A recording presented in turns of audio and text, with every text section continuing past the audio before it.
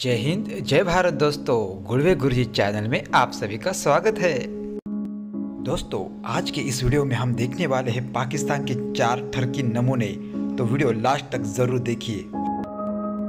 दोस्तों ये वीडियो पाकिस्तान के एक बैंक कर्मचारी का है। वो बैंक कर्मचारी अपने स्टाफ के साथ कैसा व्यवहार करता है आप खुद ही देख लो। अब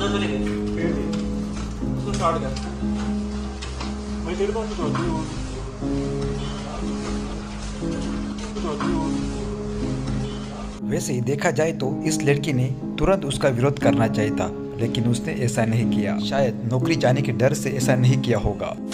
तक न्यूज़ की खातून रिपोर्टर और न्यूज़ टीम के साथ बदतमीजी करते हुए धक्के दिए हैं नाजेबा अल्फाज इस्तेमाल किए और टीम को एक घंटे तक यरगमाल बनाए रखा।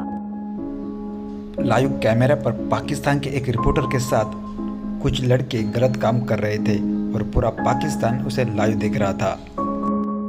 बाद में जब इस रिपोर्टर से इसके बारे में पूछा गया तो वो उसने क्या जवाब दिया? चलो देखते हैं। कवरेज करे थे और मैं लाइव थी छह बजे वाले बुलेटिन में तो कुछ जो लोग हैं वो इकट्ठे हो गए थे इर्द गिर्द जो है कैमरे के इर्द गिर्द और मेरे इर्द गिर्द उन्होंने काफ़ी जो है नाजेबा अल्फाज इस्तेमाल किए और ये है कि कुछ हुल्लड़बाजी की उन्होंने बदतमीजी की धक्के दिए कैमरा टीम को मुझे भी। और जो है अफसोसनाक बात इसमें ये है कि जो वहाँ पे इंतजामिया थी चंद कदम पे खड़ी थी और इन दर्जन या से भी कम लोग थे उनको भी ये लोग पकड़ नहीं सके। अब तक की न्यूज़ मैडम जी उनको कभी भी नहीं पकड़ा जाएगा क्योंकि पकड़ने वाले ही इस हरकत में शामिल थे।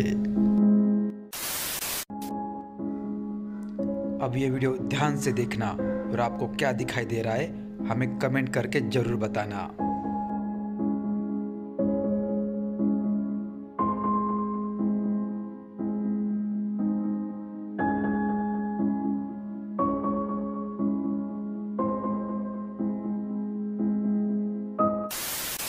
ये वीडियो पाकिस्तान के एक चुनावी रैली का है।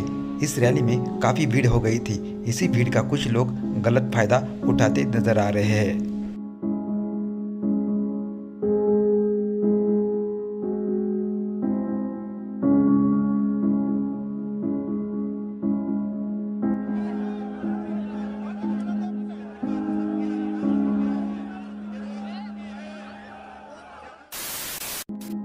पाकिस्तान के लोग मरने के बाद भी मज़े करने के सोचते हैं।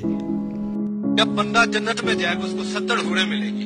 लेकिन औरत जब जन्नत में जाएगी उसको क्या मिलेगा? उसको इंशाल्लाह मैं और आप मिलेंगे।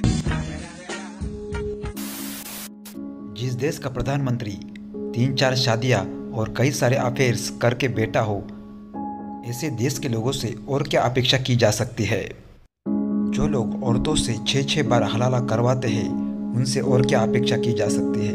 दोस्तों, अगर आपने ये वीडियो नहीं देखा है तो इसकी लिंक हमने डिस्क्रिप्शन में दी हुई है। ये दोनों वीडियो मिस मत कीजिए। दोस्तों, अगर आपने हमारे चैनल को अभी तक सब्सक्राइब नहीं किया है तो चैनल को सब्सक्राइब ज़रूर कीजिए। गुड बाय, वंदे मातरम।